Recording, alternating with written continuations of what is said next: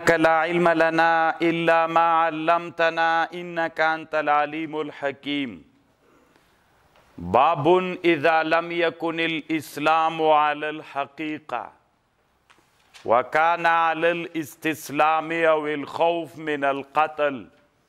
لقوله تعالى قالت الأعراب آمنا قل لن تؤمنوا ولكن قولوا اسلمنا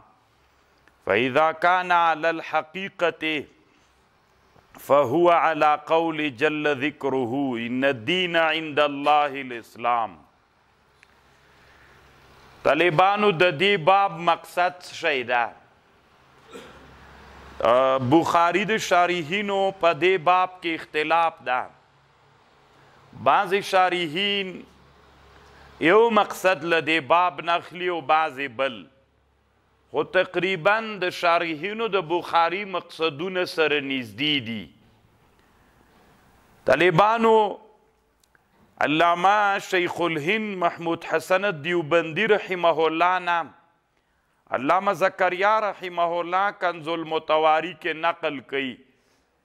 دی وایي چې اسلام دوه معناوې لري د ایمان او د اسلام په مابین کې خو د غدي څو ورته وایي د ایمان او د اسلام په مابین کې اختلاف هم راغلی او مترادف هم استعمال سوي دي اسلام له ایمان سره ایمان له اسلام سره مترادف هم استعمال استعمال سوی او زدم استعمال سوی ده نو دی باب کې د امام بخاری دا مقصد ده چی بعضی جاینو کی د اسلام او د ایمان اتحاد راغلی اتحاد او ترادف راغلی بعضی جاینو کی اسلام او ایمان په مابین کی مساوات راغلی او بعضی جاینو کی عموم خصوص من وجهین راغلی ده نو امام بخاری دغه باب کی امام بخاری په دی باب کی دغه کول غواړي چی اسلام د ایمان سره څه شی ده نو دی وایی د اسلام دوه معناوی دی یو د اسلام حقیقی معنا ده بیا په دې معنا د ایمان سره مرادف ده او یو د اسلام غیر حقیقی معنا ده په دې معنا باندې بیا اسلام د ایمان سره مرادف نه ده دا د علامه شیخ الهند رایه ده، دی داسې وايي، که اسلام په حقیقي معنا باندې سي، ایمان خو ویل کېږي انقیاد باطني ته، د زړه تسلیمېدل، دا انقیاد باطني دا اسلام ده، ایمان ده، که اسلام هم په حقیقي معنا راواخلې، دا هم بیا حقیقي معنا یې چې سي، بیا دام د د ایمان مرادف د طالبانو د چا مرادف ده د ایمان او کچیرته ایمان اسلام اغا په حقیقی معنا روان خلی نو بیا اسلام مرادف د ایمان نه ده بیا د ایمان بیل مفهوم ده بیل معنا ده او د اسلام بیله معنا ده اوس مثلا کچیرته یو چا اسلام راول ان رښتونه په ظاهر او په باطن تسلیم سو الله ته تسلیم سو د الله دین یې ومنه اسلامم ده ایمانم ده نو اسلام که حقیقی معنا باندې راواخلې نو بیا مرادف د ایمان سو او که اسلام په دې معنا را واخلي چې یو څوک چاته تسلیم سی ایمان راوړي ظاهر باندې اسلام راوړي خدا د دې په خاطر باندې ډاریږي یی وای ک اسلام را نه وړم مسلمانان به می مړ کی چې دا د اسلام نوم را باندې پروتي مړ کوي به مې څوک نه دا یو دې ته څه ویل کیږي دې ته اسلام ویل یعنی اسلام حقیقی را نه وړي د ډار دی وجه نه راوړي یا اسلام دی غنیمت دی پار راوړي یا اسلام هسې په ظاهر باندې د قتل نه ډارېږي، مسلمانان مې بندیان نه کړي، مازې چې دا د غنیمت لړۍ روانې دي چې د غنیمت ځان ته حاصل کړي، د دغه په خاطر باندې چې ځان ته څوک راوړي. اسلام د دې په خاطر چې راوړي د ډار دی وجنه د بندي کېد د ډار د قتل دی وجنه بندي کېدلو دی وجنه طمع د غنیمت چې راوړي دلته تا اسلام راوړ خدا علی ظاهر ده علی الحقیقت نه ده نو اسلام په دغه معنا باندې دا اسلام بیا معتبر اسلام نه ده. په خبر پوه سولئ؟ یعنې ګوره علماو کې خو اختلاف وو چې د اسلام او د ایمان په مابین کې کوم نسبت ده؟ عموم خصوص من وجهین هم راغلی، مساوات هم راغلی، ترادف اتحاد هم راغلی امام بخاری دلته دسی وایی چې اسلام که په معنا حقیقی باندې سی مرادف د ایمان ده اسلام که په معنا حقیقی باندې نسی د خوف له قتل نه د دې شیانو دی پارسی بیا بیا مرادف د ایمان نه ده نو دا د علامه شیخ الهند محمود حسن دیوبندی رحمه الله رایه سوه چې هغه وایي د دې باب مقصد دا ده اصل کې دلته د علماو په مابین کې درې خبرې دي یو د علامه انور شاه کشمیري رایه ده علامه انور شاه کشمیري فیض الباري کې وایي وایي د دې باب مقصد داسې ده چې یو اسلام معتبره ده یو اسلام غیر معتبر ده هغه اسلام چې معتبر ده دا مرادف د ایمان ده هغه اسلام چې معتبر نه ده دا مرادف دی چا نه ده دا دی ایمان نه ده هغه اسلام چې معتبر ده چې اسلام په معنا حقیقی را واخلي مرادف یې وګرځوي دی د د ایمان مرادف وګرځي دا اسلام معتبر اسلام ده ان الدین عند الله الاسلام ګوره معتبر سو ان الدین عند الله الاسلام دلته اسلام په کومه معنا راخیستل سوی په حقیقی معنا باندی نو چی په حقیقی معنا باندی سو اسلام مرادیب دی چا سو او دا څوک هم ده معتبرم ده ان الدین عند الله الاسلام دا معتبر ده او یو چی ده اسلام په معنا غیر حقیقی باندی ده دا بیا مرادف د ایمان نه ده او دا معتبر هم نه ده قالت الاعراب آمنا کوچان ویلی مونږ ایمان راوړ قل لن تؤمنو ایمان مو نه ده راوړای بلکه هسې په ظاهره مو تسلیم شوي دې ډار دې وجې نه نو خو دې نه قرآن هغه ایمان معتبر وګرځو ان الدین عند الله الاسلام دغه ایمان قل لن تؤمنوا ولكن قولوا اسلمنا دا اسلام معتبر نسو علامه انور شاه کشمیری رحمه الله وی وی دو اسلام دی یو اسلام معتبر ده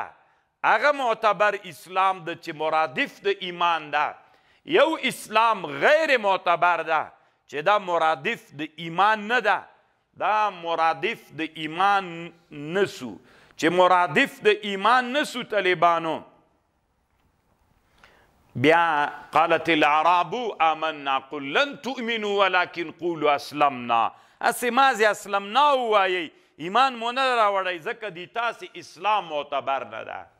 نو دا د علامه انور شاه کشمیری رحمه الله رایه ده او دریمه رایه چې ده د علامه سیندی رایه ده علامه سیندی وایي دا اسلام چې ده دوه اطلاق لري د اسلام اطلاق په ایمان باندې جایز ده دی وی د دې باب مقصد د څه ده چې د اسلام اطلاق په چا باندې جایز ده په ایمان باندې جایز ده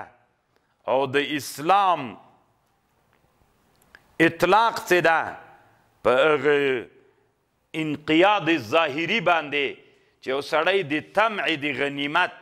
خوف عن القتل والاثر د دې په خاطر باندې ایمان راوړي په دغه اسلام په دغه اسلام راوړلو باندې هم د اسلام اطلاق سوی دی اسلام دوه اطلاق دی اسلام هغه چاته ویل کیږي چې حقيقي ایمان راوړي مسلمان ورته ویل کیږي امام بخاری دا مقصد د علامه سیندی وی چا چې په رښتونی معنا څوک راوړي وي ایمان راوړي غتم اسلام اطلاق پی کیږی مسلمان ده او که چا په حقیقی معنا ایمان نه راوړی په هغه باندی هم اطلاق دی چا کیږی د اسلام کیږی هغه ته مسلمان ویل کیدلی سی نو دا هم طالبانو څوک سو دا یی دویم اطلاق سو. په خبر پوی سوله یا؟ اسلام په هغه چا هم اطلاق کیږي چې ریښتونی ایمان راوړی وي، اسلام په هغه چا هم اطلاق کیږي چې د ډار په خاطر هسې انقیاد ظاهري وي، انقیاد، تسلیمیدل، ظاهري وي، باطني تسلیمیدل نه وي په دې هم د اسلام اطلاق کیږي اوس ګوره هغه اعراب چې انقیاد ظاهري درلود باطني در هغه ته مسلمانان ویل کېدل او هغه مسلمانان چې انقیاد باطنی او ظاهری دواړه ولري په دویم اطلاق د اسلام کیږي اسلام دو اطلاق لري هم چې انقیاد ظاهری او باطنی وي ان الدین عند الله الاسلام او د اسلام دویمه معنا دا ده چې تنا انقیاد ظاهری وي ولکن قولو اسلمنا هغه اعراب منافقین چې په ظاهر ایمان راوړي وو اسلمنا خو د اسلام اطلاق ور باندې وسو اسلام دوه اطلاق لري دا د علامه علامه سیندي رایه ده او تقریبا د اکثر علماو رایه هم همدغه رایه ده نو الله دې وکړي چې تاسې په ترجمة الباب مقصد باندې پوه سوي یئ طالبانو اسانه ده ان شاء الله باب اذا لم يكن الاسلام على الحقيقه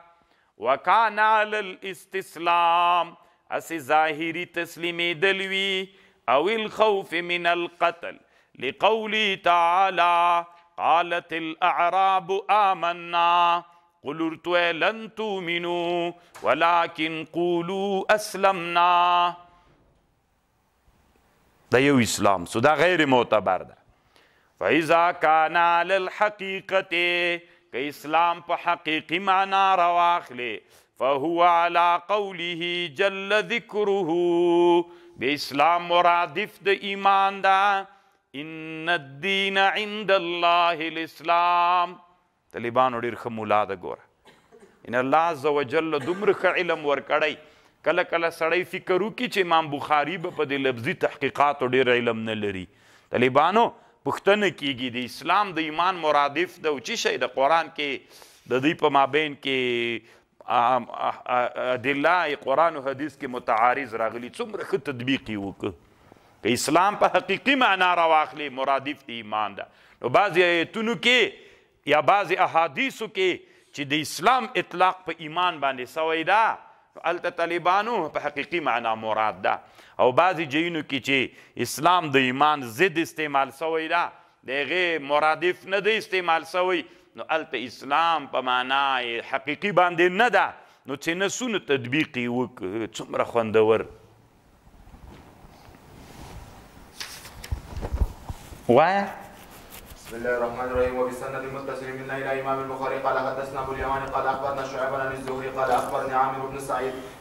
عن عامر بن سعد بن ابي وقاص عن سعد ان رسول الله صلى الله عليه وسلم اعطى رهطا وسعد جالس فترك طالبان سعد بن ابي وقاص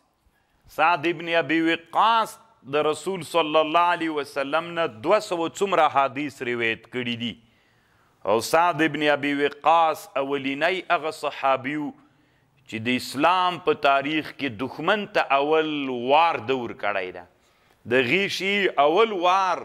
یعنی داسی وایی طالبانو اول داس په اسلام کی د کفر طرف ته چی چا کړی هغه سعد ابن ابی وقاص ده رضی الله عن دی څه وایی ان رسول الله صلی الله علیه وسلم اعطا رهتن نبی علیه السلام یو ورځ یو قوم ته شی ورکړل و سعد جالسون سعد هم ناست و نبی علیه السلام خلک ناست ول نبی علیه السلام یو چا ته صحابو ته چی ورکول فترک رسول الله صلی الله علیه وسلم رجلا نبی علیه السلام یو سړی پریښود هو اعجبهم الیه دا هغه خوندور وو ما ته په دې ټولو کې دا سړی ماته ډیر ښه سړی و چې دا رسول الله ور نه کړل دا په ټولو سړیو کې ماته ښه سړی و یعنی ګوره ډیر خلک ناست ټولو ته ورک د عطیه ورکړه یو ته ور نه کړه او دا په ټولو کې ماته ډیر خوندور سړی چې باید د ته ور کړی وای فقلت یا رسول الله مالک عن فلان څه دي تا لره چې پلانکي ته دې ور نه کړ؟ فوالله اني لاراه مؤمن، قسم مې دي زه چې ده په ده باندې یقین لرم چې دی مؤمن ده. فقال نبی علیه السلام ورته ویلي او مسلم. فسکت قلیلا لږ چپ سو ثم غلبني ما اعلم منه ثم غلبني، غالب سو ما هغه چي ما علم ترینه درلوده، چونکه دده حالت ماته معلوم سو هغه حالت بیا راباندي غالب سو، فعدت لمقالتي فقلت ما لک عن فلان، اې د الله رسوله ولي دي پلانکي ته ورنه کړ، فوالله اني لاراه مؤمن، فقال او مسلم، ثم غلبني، بیا په ما غالب سو ما اعلم من، چي باید زه چپ سوی وای خو دی دومره ښه سړی و، دا د ده ښه سړیتوب چې ما ته معلوم و، دا به په ما غالب شو، بېرته مې له ده، فعدت لمقالتي وعاد رسول الله صلی الله علیه وسلم ثم قال یا سعد انی لاعطی الرجل، زه یې ورکوم یو سړي ته، وغيره احب الي من ګوره زه یو سړی ته شای ورکوم خو دا معنا نه چې چاته مې شای ورک دا ماته محبوب ده هغه څوک چې نه مې د ورکړی هغه ماته تر غنم ډیر څوک ده خشیتا اچاته چې ورکوم غوی دی پاره شای دی دی دی پاره ورکوم ای کبه الله فی النار چې الله یې پړ مخې ورته روانه چي هغه مې چې ساتلی په پیسو په عطیه مې ساتلی که پیسې ورکم د اسلام په ډله کې پاتې کیږي او که پیسې ورنکم له ډلې نه وځي پړ مخې او هغه بل سړي باندې اعتماد لرم هغه عبد الدینار او عبد الدرهم نه ده تاسو اوس په خبر پوه شولئ نو اوس بیرته راځئ طالبانو طالبانو علامه رشید احمد ګنگوهی رحمه الله دلته یوه خبر په لام الدراري کې کړې هغه وایي چې دا اسلام او ایمان دا دواړه په اعتبار د مفهوم سره متغایر دي او په اعتبار د مصداق سره طالبانو متلازم دي په اعتبار د مفهوم سره مفهوم سره اسلام انقياد ظاهري ته وي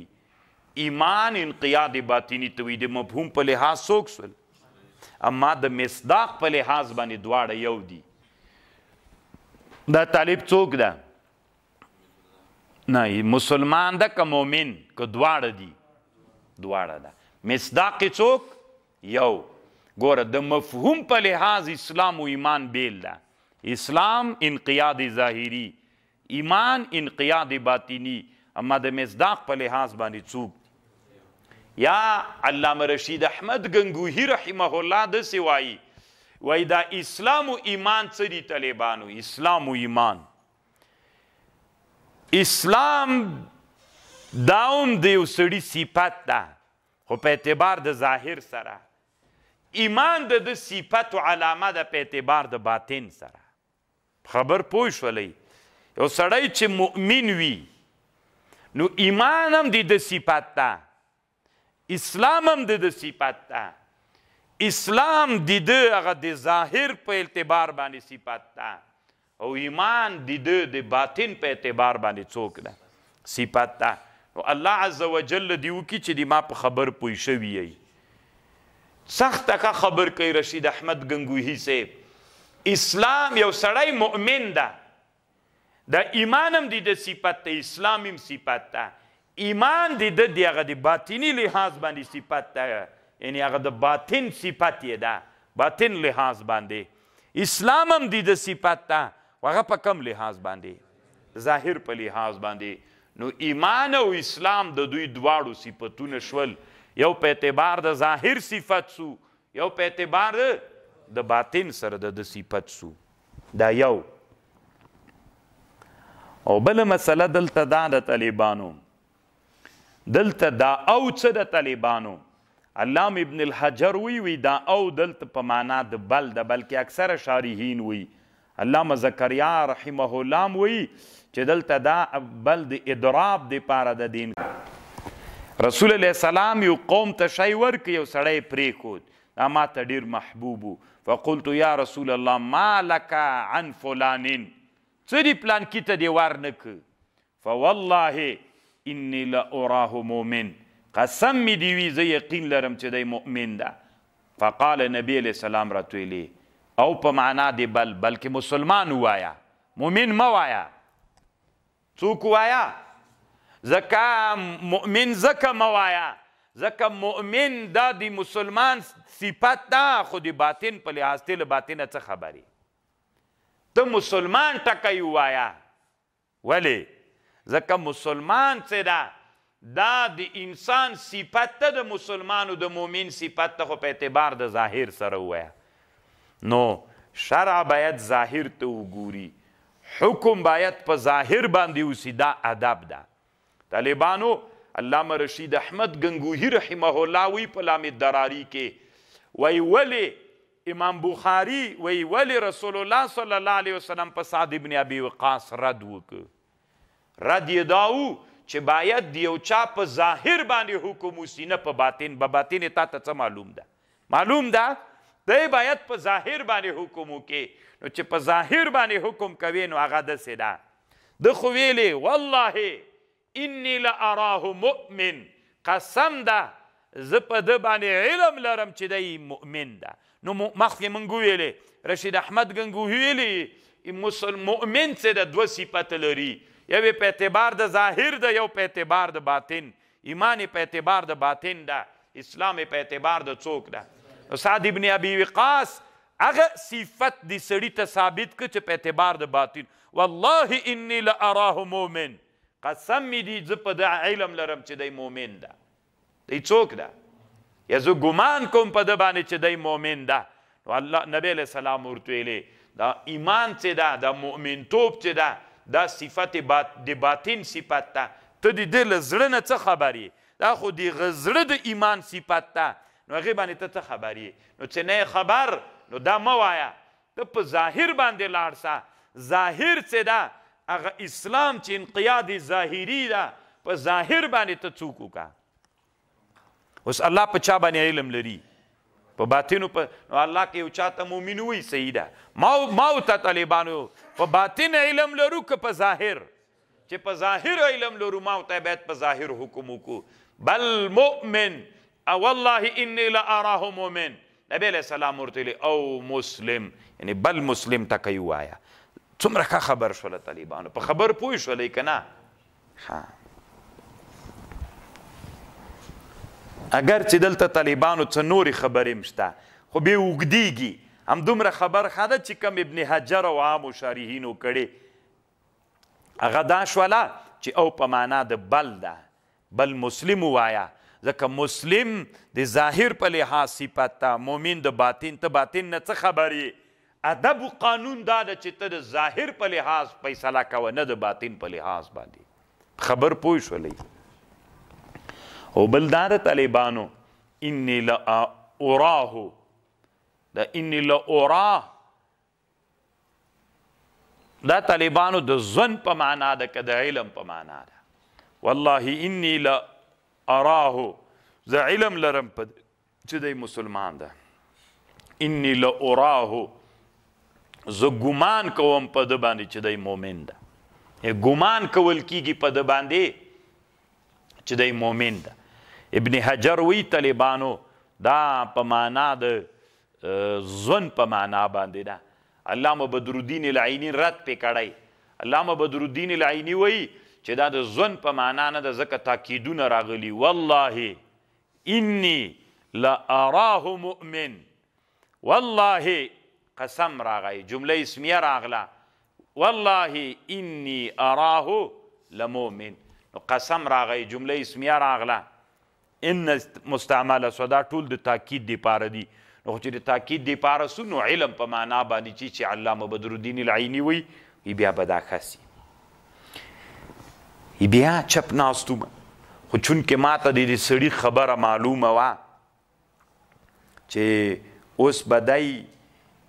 دای ښه سړی ده نو بیا هغه خبر را غسوله نبی علیہ السلام ته میلی ولی دی ور نه کبی وی ما والله انی لا ارا غنرت الی مسلمان وایا نبی علیہ السلام اخر کې ما ته ویلی چې ګوره سعد ابن ابي وقاص د ما عادت ته ده زه چې چاته یو شی ورکوم دا د ما شی ورکول یو چاته دا دا معنا نه لري چي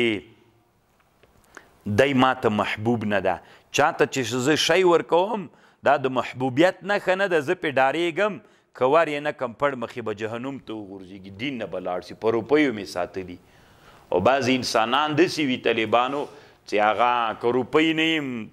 دین سره علاقه پیدا سوي نو صحیح ده، دا یې تا ملګری ماته محبوب ده خو ورکړه دا معنی نه چي دوی راته محبوب دي. تاسو په خبر پوه شولې اوس طالبانو علامه زکریا رحمه الله دلته یو بل خبر کوي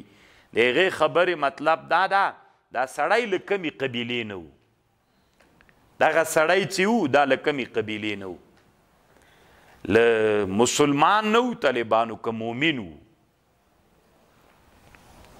دلته خو رسول الله هغه ویلې چې دا مؤمن ده سعد ابن ابي وقاص ورته ویلي رسول الله ورته ویلي مسلمان وایا مؤمن ما وایا اوس طالبانو دلته دای دل کمی قبیله نه دا سړی ته نه انقیاد ظاهري یې درلود او که انقیاد ظاهري سره انقیاد باطني هم درلود دی د کومې قبیلې نه سو نو طالبانو علامه زکریا صاحب وی وی په دې کې د علماو اختلاف ده او عام شارحین وای د سوای چې دا له د دویمې قبیلې نه وو ځکه اسلام دوه معناوې مونږ وکړي یو اسلام په معنا حقیقي باندې چې مرادف د ایمان ده او دا ایمان معتبر ده اسلام معتبر ده یو اسلام طالبانو په دې دویمه معنا باندې ده چې هغه استسلام ظاهری خوف عار او طمع د غنیمت د دې لپاره ایمان راو اسلام راوړل دا اسلام غیر معتبر ده نو عام شارحین د بخاری وایي چې دا د دویم ډلې نه ده یعنی طالبانو اسلام غیر معتبر د دې سړي ذکر رسول الله شي ورنک خو طالبانو کوم کتاب کتلی زړه کې به مې وڅوي خو نه کوي دا خبر طالبان دی وی علامه زکریا سی بو رحمه الله دی وی دی منګه مشایخ د دیوبند به ویلې چې نه دا لاولی قبیله نه ده ځکه نبی علیہ السلام اخر کې وایي والله نبی علیہ السلام اخر کې وایي یا سعد انی لاعطی الرجل وغیره احب الی من دا ورکړه دا دی ما دا معنا نه چې دای ماته محبوب ده ماته محبوب هغه د چې چاته مې نه ده ورکړی نو خو دینه معلومه سول طالبانو چې دا سړی رسول الله ته څوک محبوب وو رسول الله ته طالبانو مؤمن محبوب وي که غیر مؤمن مؤمن ورته محبوب وي نو دلته طالبانو او مسلم دلته د دیوبند علماو د علامه زکریا صاحب رایه دا ده چې دا د دویمې قبیلې نه ده اسلام په دوه معناو باندې اسلام په معنا د اسلام حقیقي په معنا معتبر اسلام په غیر حقیقی معنا باندې غیر معتبر دلته کم اسلام وو معتبر اسلام وو عام شارحین خو ویلي اسلام غیر معتبر دي داس د دغه سړي اسلام معتبر نه وو خو زکریا صاحب علما د دیوبند څه وایي چې نه د اسلام څوک د اسلام معتبر اسلام څنګه معتبر اسلام معتبر اسلام په دې لحاظ باندې یو طالبانو ځکه نبی علیه السلام داسې ویلي دی وروستنۍ اخرې خبرې نه چې د ما ده ته شی نه ورکول دا معنا نه چې دی ما ته محبوب نه ده بلکې دا ټول ټولو کې ما ته دی ډېر محبوب ده نو چې رسول الله ته محبوب سو خو څوک ده مؤمن ده نو موږ خو خبره داسې کړې وله چې دغه سړی په اوله معنا مؤمن و که په دویمه معنا مؤمن و داسې خبر مو کړې وه په اوله معنا مؤمن و اسلام وک په دویمه معنا باندې عام شارحین ویلې په دویمه معنا باندې مسلمانو چې غیر معتبرو او د دیوبن علماء زکریا سه بوئی چې په کومه معنا باندې په اوله معنا باندې یعنی معنا اسلام د د معتبرو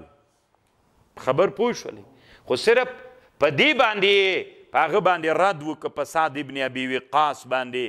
چې اولا خبره دا ده چې قول دی چا په یقین مه کوه اصل کې سید نبی له سلام ورته لزه منم چې دغه سړی ته چې ما روپۍ یا شی نه دی ورکړي دی انقیاد ظاهري او باطینی دواړه لري خو ته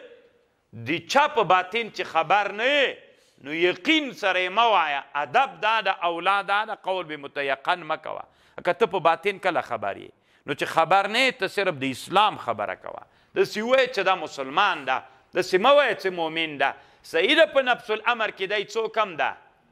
مؤمن هم ده، اسلام په معنی حقیقي باندې دلته ده، خو تاته نه وو پکار چي تا ويلي واي ځکه ته دده په باطن خبر نه يې. دا خبره علامه رشيد احمد ګنګوهي رحمه الله کړې الله دي وکړي چي تاسي په خبر پوه سوي يئ ورواه يونس وصالح ومعمر وابن اخي زهري عن الزهري باب افشاء السلام باب د په بار د افشا د سلام کې من الاسلام طالبانو د دې باب مقصد د سیدا علامه ابن الحجر وی وی په دې باب کې امام بخاری رحمه الله مقصد دا ده چې هغه شعب دي چا ذکر کوي شعب دي ایمان ذکر کوي هغه وی چې په دې باب کې مقصد امام بخاری مخکې نه هغه شعبې د ایمان خبرو ذکر کړې وې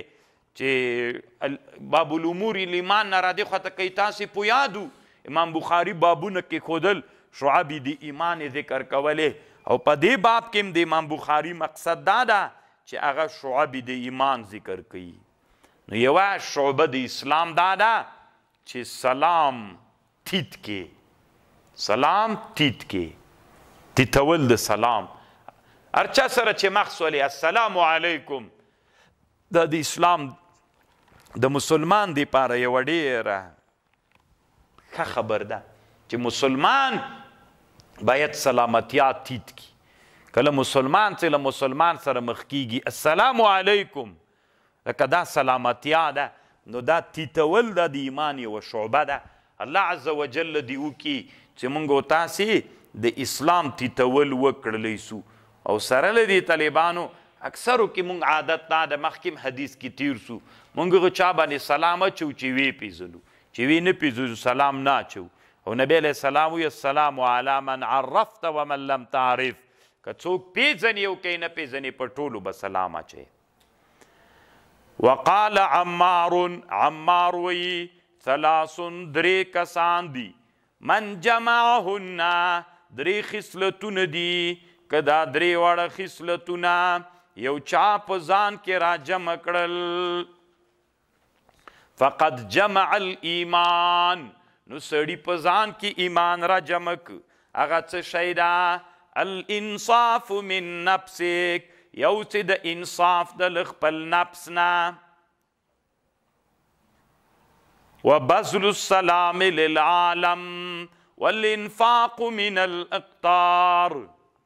څو شیان شول درې طالبانو اول دا د انصاف من نفسک خبره ټولو باندې اوس بیرته کوو طالبان او بل دا دا بذل السلام للعالم تیتول د سلام ټول امت ته او دریم دا وو انفاق من الاقطار نفقه طالبانو دسی حالت کی چی ته غریب هم وی کنه ګوره یو سړی چی غریب وی صدقه وکي والانفاق من الاقطار نفقه کول په حالت فقر کې ته خپل محتاج بیا هم نفقه کوي دا نفقه الله ته ډیره مقبوله ده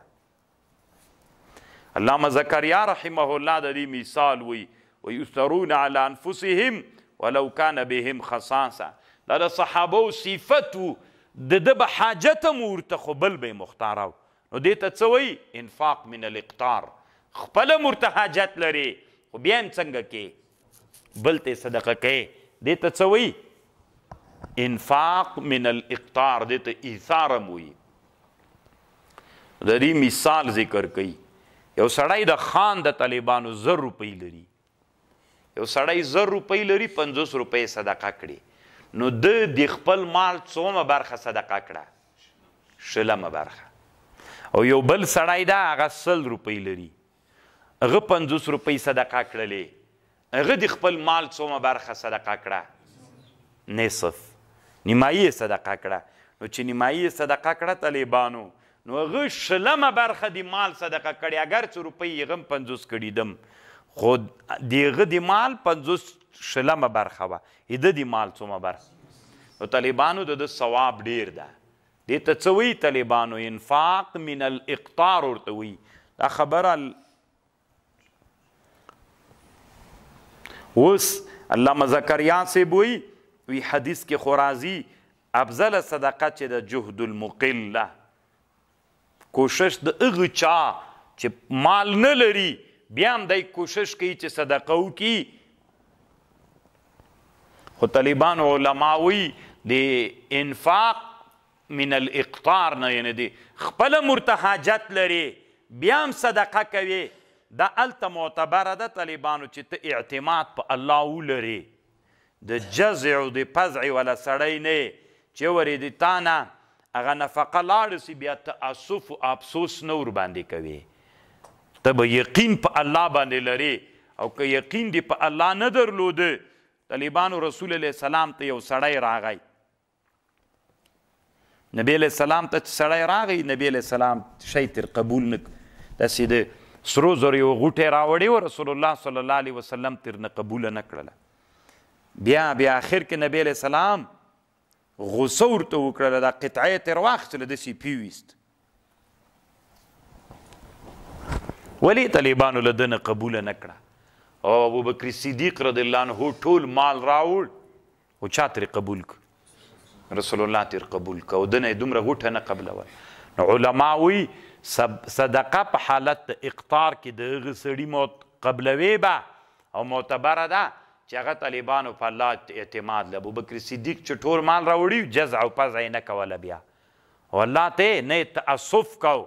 افسوس یې نه کاو چې کاشکې مې نه وای کړی، کلک یې په الله اعتماد درلود چې د دې ماته بدله راکوي. په خبر پوهېږئ؟ او پاتې شو دا دویمه خبر چې دا دې بل سړي یې ولې رد کړه، رسول الله صلی الله علیه وسلم هغه طالبانو په الله اعتماد نه درلود، نو نبي علیه السلام ته پته وه که دا زه ترنه واخلم افسوس کوي او بیا به جزع او پزع کوي، او بیا الله عزوجل باندې اعتماد نه لري چې د دې بدله به ماته راکړي نو ځکه رسول صلی الله علیه وسلم د هغه نه او دا نبي علیه السلام ته طالبانو په چا باندې معلوم سو په قراینو باندې د دې سړي نه چې قبول نه کړه نبی علیه السلام پوی وو داسې قراینو باندې ورته معلومات وسو چې دا سړی څه ده دا په الله اعتماد نه لري او په ابوبکر صدیق نبی علیه السلام ته معلوم که ټول مال هم راوړي او کور کې هیڅ مال پاتې نسی بیا هم الله عز وجل باندې اعتماد لري نو چې اعتماد یې ودرلود ابوبکر صدیق رضی الله عنه نه ټوله قبول کړله دلته یو ټکی راغی انصاف من نفسک د انصاف من نفسک څه معنا د دې مطلب دا د انصاف من نفسک تا چې په یو چا ظلم کړي په مظلوم باندې نو مظلوم ته ودرېږي مظلوم ته دسی وایې چې راسه مظلومه لمانه چې ما پتا کوم ظلم کړی دا خپله قصاص و بدله دې له مانه واخله اصل کې طالبانو دلته انصاف من نفسک دا معنا ده انصاف من نفسک څه معنا طالبانو انصاف من نفسک دا معنا چې یو ظالم ته ورسي او هغه ته ود یو چا په چا ظلم کړي مظلوم ته ورسي ورته راسه له ما نه خپله بدلو قصاص واخله اصل کې دا مطلب ده یا طالبانو علامه زکریا رحمه الله وی د دې څلور معناګانې دي یو معنا یې دا ده انصاف من نفسک دا معنا ده ته د سم رغبت لري ته چې کشرې ته غواړې چې ما سره دې بیا چې مشر سوم داسې معامله دې له ما سره وسي لکه د مشرانو سره چې کېږي. که نه سړی چې کشر وي داسې اراده لري چې باید له ما سره دې داسې معامله وسي چې د ما د خلک احترام وکړي. نو ته داسې بیا وکړه چې ته د الله عزوجل احترام وکړه ته د الله عزوجل سره هغسې معامله وکړه لکه چې ته د بل نه غواړې ته اوس دا غواړې چې باید واړه دي ما احترام وکړي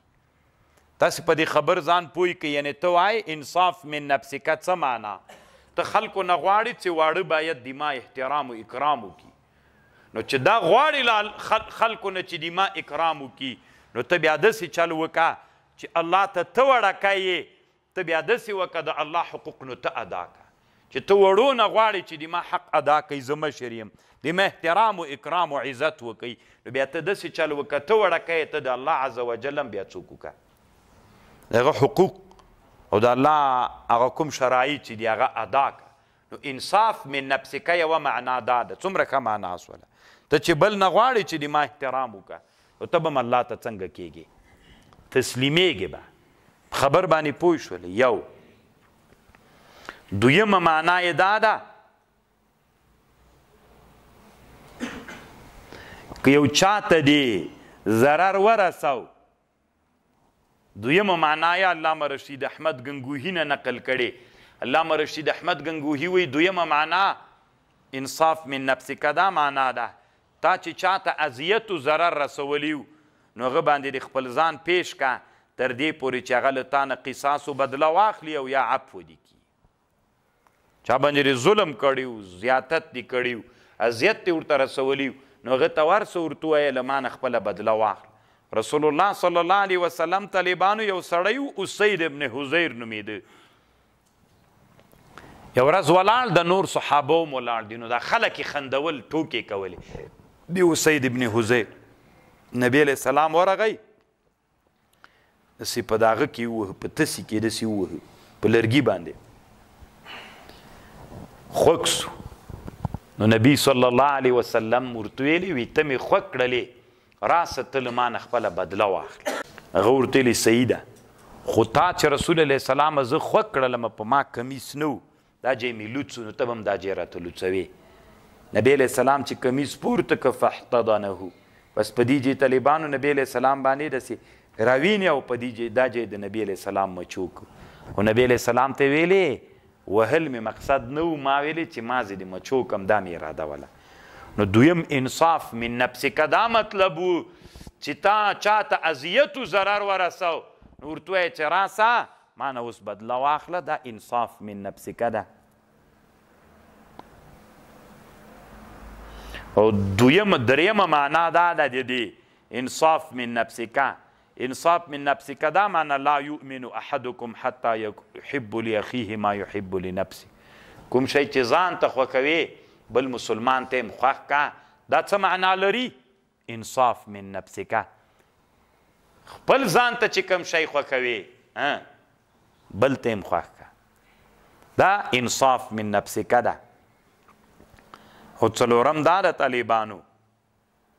په تا باندې چې د الله او د چا کوم حقوق دي د بندگانو نو هغه حقوق چې په تا باندې د الله او د بندگانو دی هغه حقوق ادا کا د انصاف من نفسک څلورمه معنا دا ده چې دا علامه زکریا رحمه الله نو طالبانو عمار څه وی دلته مراد له عمار نه عمار ابن یاسر د طالبانو ثلاث من جمعهن درې شیان دي چې په ځان کې را جمع کړل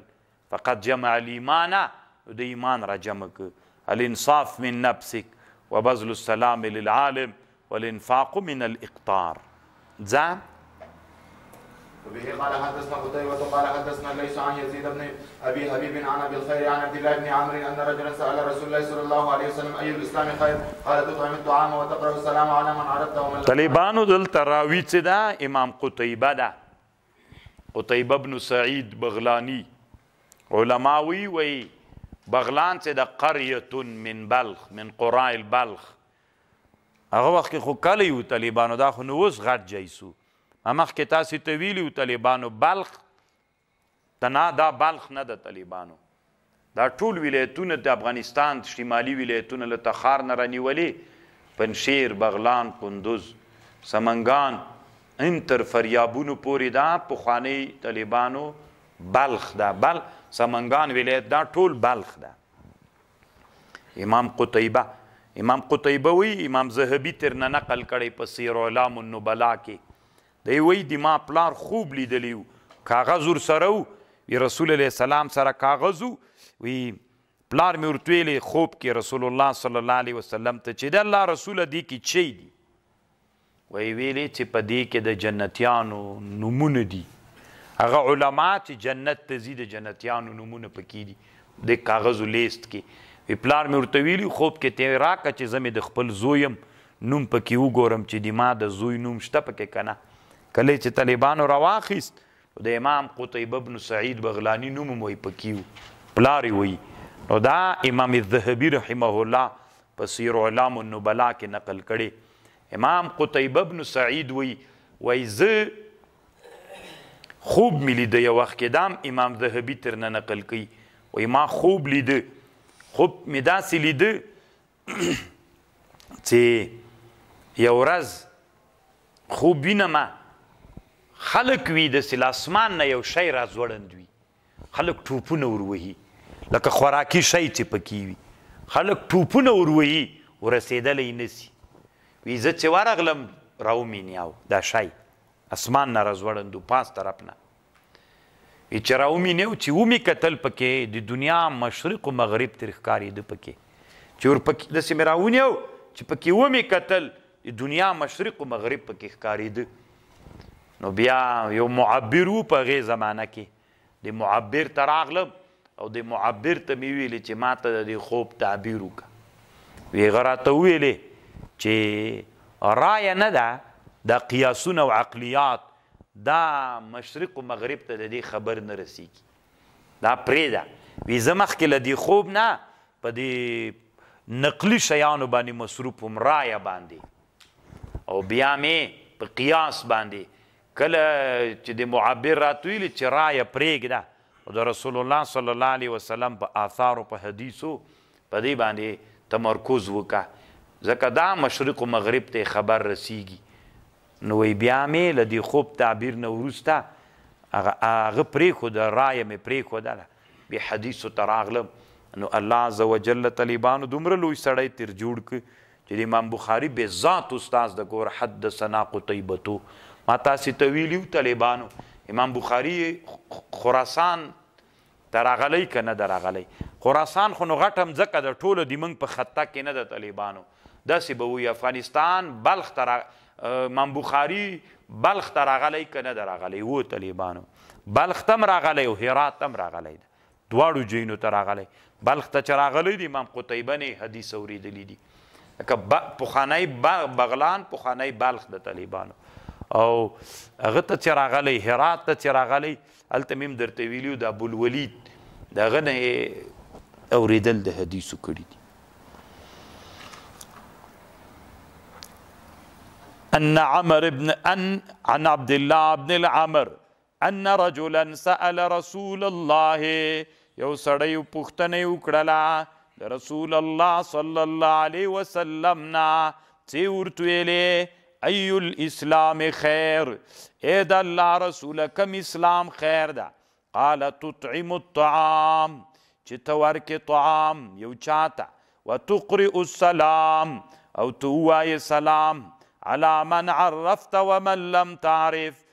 په هغه چا باندې چې پېژنې او که نه پېژنې. دا حدیث مخکې تېر شو، خو طالبانو امام بخاري ته الله دومره لوی علمیت ورکړی،